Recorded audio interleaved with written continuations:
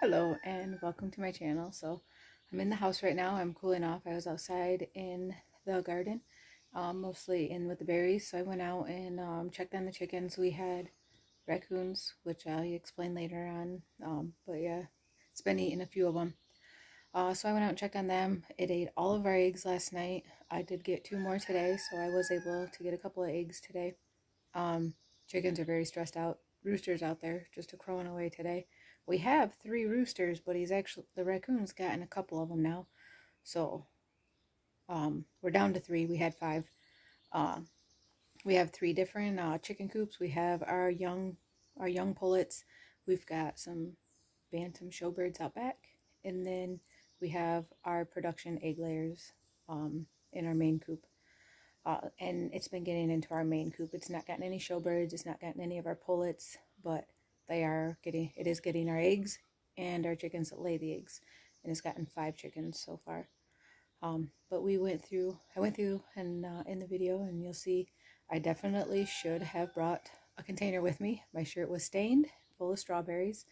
Um, so I show some of that and then all of our berries and the blackberries and stuff. So I hope you enjoy and uh, if you like, if you if you like what you see, consider subscribing to the channel and please hit the thumbs up.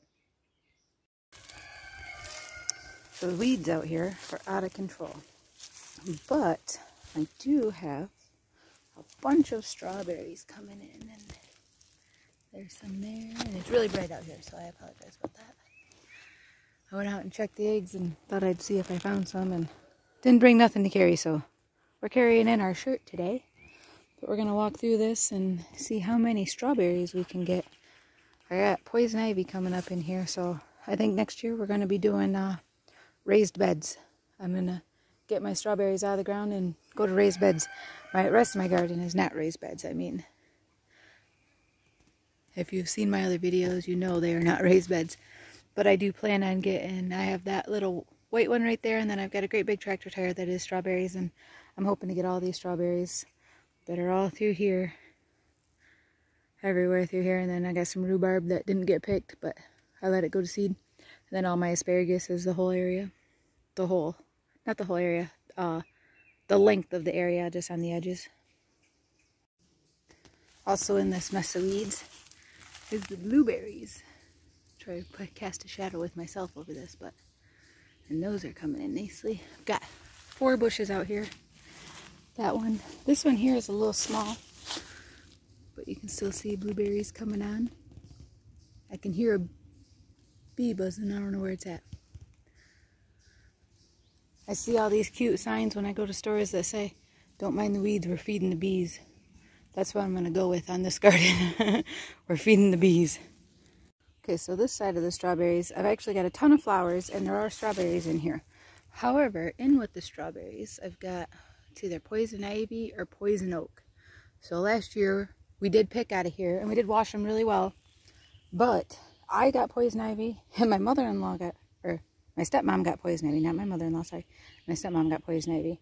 I got it on my hands, my arms. She got it on the side of her face. But I think she might have eaten one right out of the garden a little too close to the poison ivy. So these strawberries, I'm not picking from this year. I'm just going to let them grow wild and in the winter, we're going to rip everything out, including that poison ivy. And then I'm going to cover this area and not use it and hopefully kill out this poison ivy because we've ripped it out a couple of times and it is not it is not coming out very well at all but so we will be hopefully taking care of that hopefully we'll see but I'm going to get this pile of strawberries in the house. My shirt's not quite big enough for what I had picked. I still got more out here, but me show you my shirt. Still got more strawberries out here, but uh, I don't have enough room. Ran out of shirt. I'm, I'm going to look at the berries while I got the phone in my hand, and we'll go look at all the, I, I don't know if you call them black caps or blackberries. It's like the ones you can find growing on the side of the road, but I've got them. Um, here's my wooded area, and they grow pretty much from the road. We have five acres, and it's kind of like not quite a square, but it goes all the way from the road clear out there, comes all the way over here. We're cleaning out the garage so snowmobiles outside.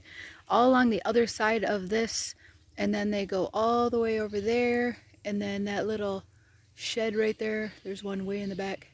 They grow all the way through there. And so we're going to check those out in just a second. All right, so we also have, this is one of our cherry trees, and this is the other, and then the other two trees on the other side of that truck are apple trees. Um, our cherry trees, we never get anything on them. The birds get to them before we do. Um, or the raccoons, we always get a ton of raccoons, but right now we've got one that's been hunting our chickens. All the cherries on the ground, and they're still hunting my chickens. They got in there last night and got one, and they got three the night before.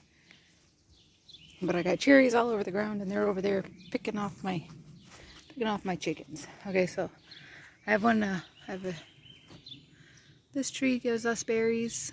We have uh, two of these and can't remember the name of it.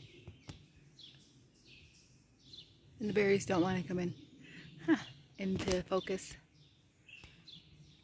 And then all through here are the raspberries and like got them coming in.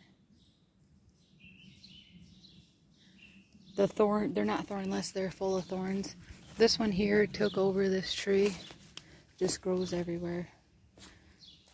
But it's kind of fun to come out here now they always come in in the height of mosquito season so I'll walk out here and I'll be in a hoodie when it's 100 degrees with it over my face breathing in mosquitoes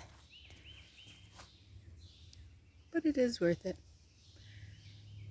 I never pick enough at a time to can, even though as many as we have, they don't all come in at the same time, and I've never gotten enough to can some jam out of them, but they have a lot of seeds in them, so I don't really like a seedy kind of jam anyway, so we just freeze them, put them in smoothies, and we eat them.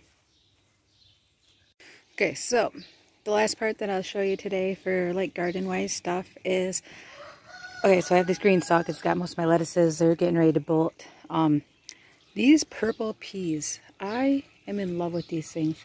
This one here's only got a couple in it, so I'll probably eat this one today. Now, I did not grow enough peas to be able to eat them all.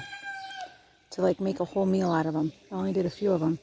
And they're coming in one at a time. But I've never grown peas before, so I thought I would try it in this controlled environment here. And I got a couple of green ones so far. And then these are the first of the purple ones. And I am just in love with this. And my daughter ordered this little turny thing for me at Christmas time. She bought me the other GreenStalk over there. Don't mind my laundry hanging up online. But she bought me that other GreenStalk, which got mostly herbs and strawberries. And uh, when she did, she got the little rolly thing. And then she ordered, or not rolly, I don't know, a little turny thing. And I got a few more flowers, so I'll have a couple more of the purple peas coming in, but these things taste good. This will be the second one that I'll get to eat, but I'm excited about that.